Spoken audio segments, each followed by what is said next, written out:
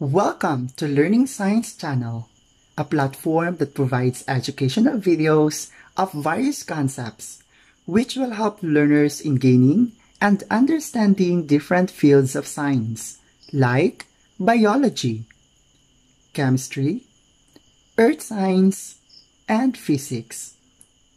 If you are new to our channel, please hit the subscribe button and turn on the notification bell to keep you updated for more science lessons.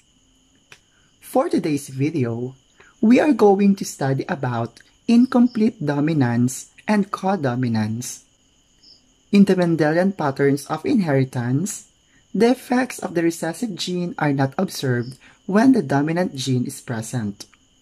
In this video, you will find out that certain traits do not always follow the Mendelian principles of heredity. Let us start with incomplete dominance. Incomplete dominance follows the non-Mendelian pattern of inheritance wherein a heterozygote shows the phenotype that is intermediate between the two homozygous phenotypes. Neither allele is dominant over the other. One of the best examples is when a red-flowered gumamela plant were crossed to a white-flowered gumamela plant resulting to a pink-flowered gumamela plant. As you can see, the resulting phenotype of the offspring is intermediate between the phenotypes of the parent. How does it happen? By using this Punnett square, let us cross the red-flowered gumamela plant represented by RR to a white-flowered gumamela plant WW. By multiplying the alleles, the resulting offsprings will be RW, RW, RW, and RW.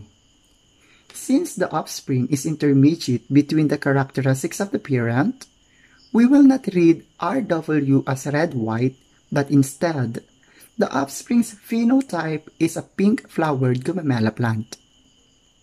Genotype RW Phenotypic ratio 4 is to 4 or 1 is to 1 since they are all pink. Genotypic ratio 4 is to 4 or 1 is to 1 since it is all RW. Phenotypic percentage 100% pink flowered gumamela plant. Genotypic percentage 100% RW. Let us have another cross. Suppose the parents are both pink flowered gumamela plant, represented by RW. Let us find out the possible offspring by using this Punnett square. By multiplying the alleles, then we will have RR, RW, RW, WW. Therefore, the phenotypes are red, pink, and white flowered gumamela plant.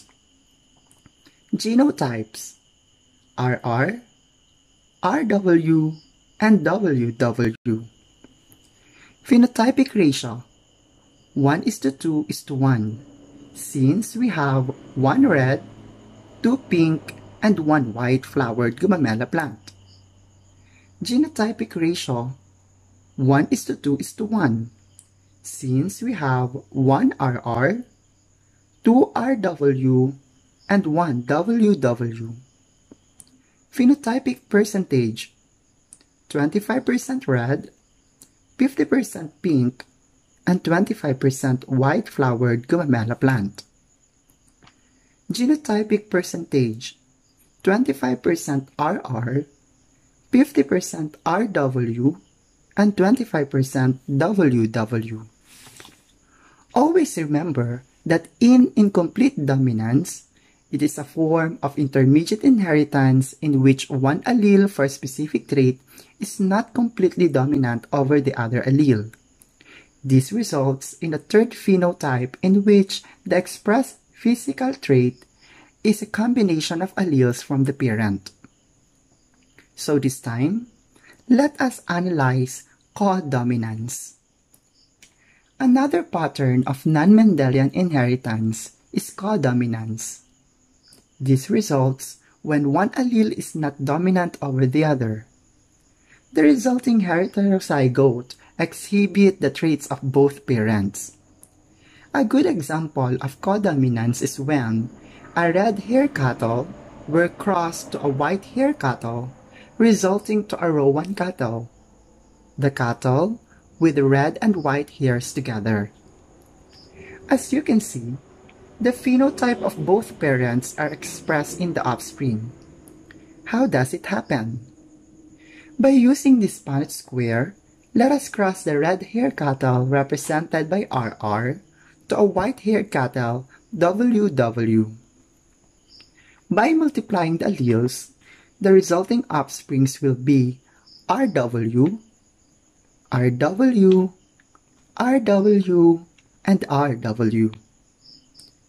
The phenotypes of the offspring is a roan cattle. Genotype RW. Phenotypic ratio 4 is to 4 or 1 is to 1 since they are all roan. Genotypic ratio 4 is to 4 or 1 is to 1 since it is all RW. Phenotypic percentage 100% roan cattle. Genotypic percentage 100% RW. Let us try another cross. Suppose the father is a roan cattle mated with the mother which is a white cattle. Let us find out the possible offspring by using the Punnett square. By multiplying the alleles, then we will have RW, WW, RW, WW. Therefore, the phenotypes are roan and white cattle. Genotype RW and WW. Phenotypic ratio 2 is to 2 since we have 2 roans and 2 white cattle. Genotypic ratio 2 is to 2 since we have 2 RW and 2 WW. Phenotypic percentage 50% roan and 50% white cattle.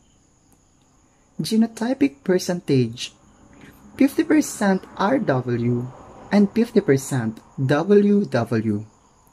Always remember that in codominance, both alleles are expressed equally in the phenotype of the heterozygote.